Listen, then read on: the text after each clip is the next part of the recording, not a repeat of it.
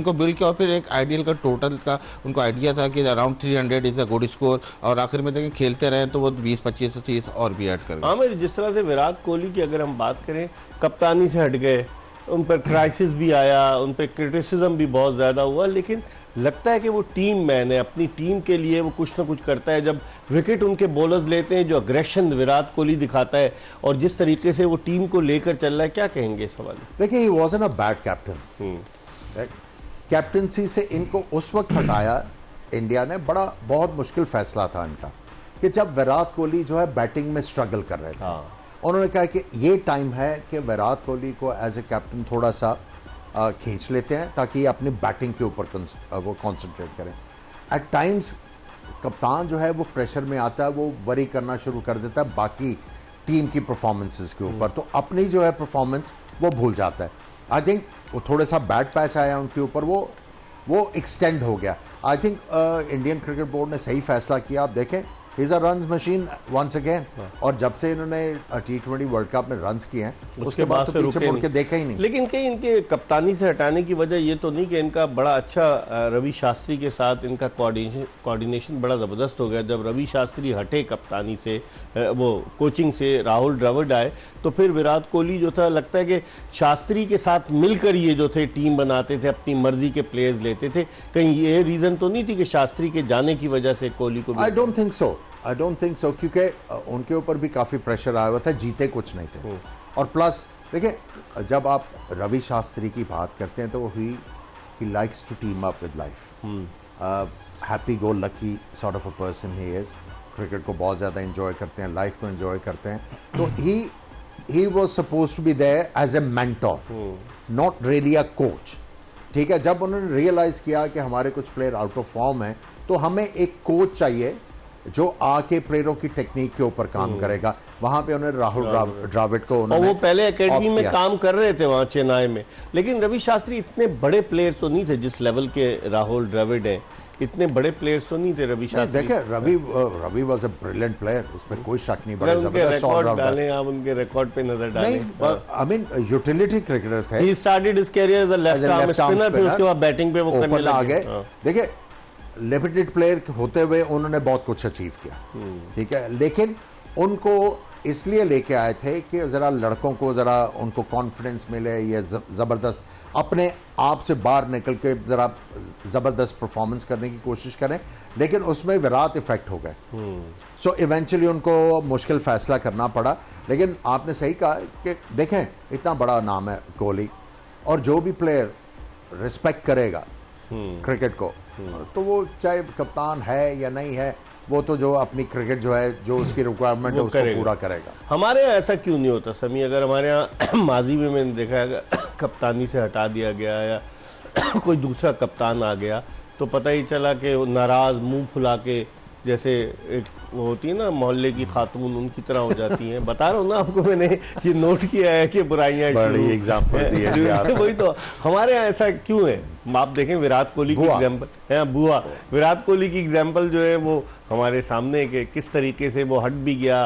वो number one दुनिया का बैट्समैन रहा है और भारत के लिए जो उसने कारनामे सर अंजाम दिए उसके बावजूद वो टीम मैन नज़र आता है। कि जब विकेट लेगा बॉलर वो हमेशा इन्वॉल्व होता है। ऑल दो रोहित शर्मा कप्तानी कर रहा है, लेकिन Virat Kohli is always involve in the game जी हाँ बिल्कुल देखें, गेम का उनका ये प्लस पॉइंट भी है कि हर वक्त वो इन्वॉल्व रहते हैं फील्डिंग में भी इन्वॉल्व रहते हैं, ताकि एक हर चीज़ आप देखते रहें विकेट क्या, किस तरह तो इस तरह आप गेम में ज़्यादा इन्वॉल्व होते हैं। फिर जैसे आपने बात की कि पाकिस्तान में देखें पाकिस्तान में कम्युनिकेशन का बहुत ज़्यादा गैप है। किसको, किस लिए लाया जाता है रोल डेफिनेशन नहीं है। कब की और किस तरह इस्तेमाल है ये भी नहीं है और लाने के बाद फिर स्टेटमेंट भी दे दिया जाता है कि हम इनकी कारकर्दगी का जायजा लेंगे। जी हाँ बिल्कुल देखें विजन होता है उस पर थोड़ा बेशक आप थोड़ा सा उस पर स्ट्रगल करें लेकिन एक लॉन्ग टर्म आपका एक प्लान होता है एक शॉर्ट टर्म प्लान होता है तो कहीं ना कहीं लॉन्ग टर्म के लिए आपको छोटे मोटी चीज़ें भी अवॉइड करनी पड़ती हैं या उसको आपने गुजारा करना पड़ता है लेकिन एक विजन होता है जिसको टाइम लगता है। देखें ये आप बात करें रोहित शर्मा की शुरू में आए थे स्ट्रगल की थी उन्होंने कप्तान हम्म। लेकिन पैसे जब द टाइम आप देखें ये इंडियन टीम ऐसी हो गई है कि आप इनको हराना मुश्किल हो गया। तो हर चीज़ को थोड़ा टाइम पीरियड चाहिए होता है। आपके साथ कौन सा अच्छा कप्तान था जो आप जिसकी कप्तानी में खेले?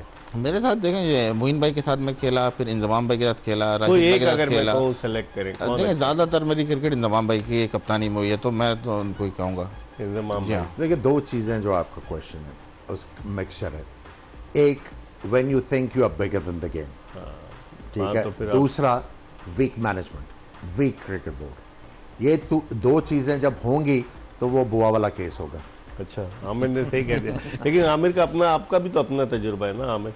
आपने जब जिम्बाब्वे की टीम आई हुई थी नहीं नहीं छोड़ मैं मतलब मुझे तो याद होता है पीपल वांट टू नो कि भाई आमिर सोहेल कप्तान था पाकिस्तान का जिम्बाब्वे की टीम आई लाहौर में मैच था और मोइन खान अचानक कप्तानी करते हुए नज़र आए। नहीं देखें मैं ये ये कुछ लोगों ने ये फैलाया हुआ था कि I didn't turn up I went to chairman cricket board उनके घर गए। मेरे साथ लाहौर क्रिकेट एसोसिएशन के खालिद महमूद नहीं थे। प्रेसिडेंट थे रोकड़ी साहब। रोकड़ी अल्लाह ताला उनको जन्नत में जगह दे। बहुत ही ज़बरदस्त इंसान थे और जितना उन्होंने क्रिकेट के लिए किया मैं नहीं समझता किसी ने किया होगा। उनके साथ मैं गया था और उनको मैंने यही कहा था कि जी मेरी वजह से मेरे कप्तान होने की वजह से चेयरमैन कौन थे? खालिद खालिद महमूद? महमूद साहब ये हो रहा है। आगे इंडिया का टूर है। फिर वर्ल्ड कप है। मैं नहीं चाहता कि इंडिया में जाके आपकी टीम के साथ ये हशर करें। तो मैं अपने आप को पुल बैक करता हूँ। थोड़ी देर मैं रेस्ट करूँगा then I decide to come back तो अच्छा, अभी आप जो है यहाँ ये उड़ा दी कि आमिर सोहेल चले गए नाराज़ हो गए नहीं पता नहीं नहीं, नहीं जी ये ये ये देखें काफ़ी चीज़ें जो मेरे बारे में उड़ाई गई हाँ। विच इज़ नॉट ट्रू लेकिन ठीक है आपने क्लियर करवा दिया ये वाले की बोलने वाले की जबान तो नहीं रोक सकते नहीं रोक सकते। सो अब आ, ये नहीं है मैं मैंने हमेशा अथॉरिटीज़ को रिस्पेक्ट किया। आ, और जिस तरह रिस्पेक्ट करवाई है उसको ज़्यादा दिए।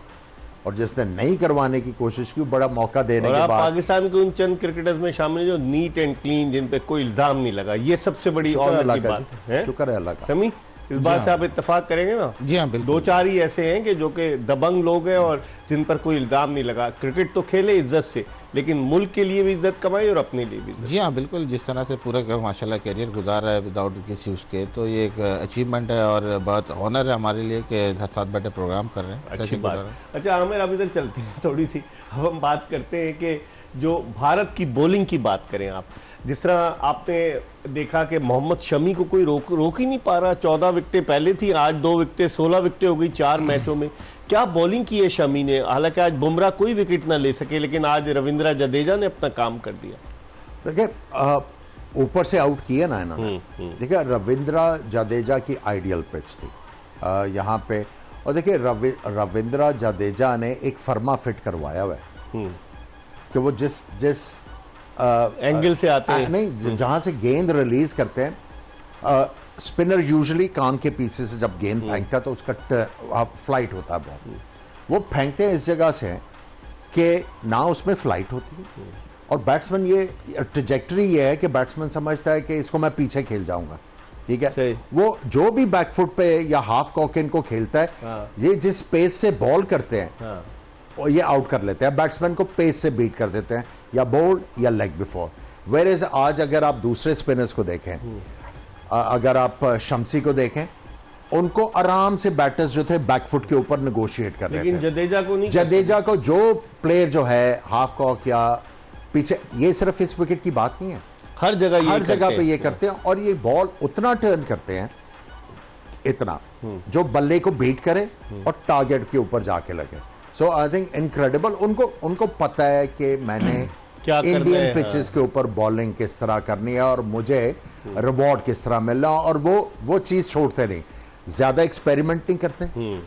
वो इसलिए मैंने कहा फर्मा फिट किया हुआ है। एक ही जगह से। ज़्यादा एक्सपेरिमेंट नहीं। Wicket to wicket wicket to wicket वहाँ पे आर्म बॉल छोटा सा स्पिन बैट्समैन के लिए मुश्किल।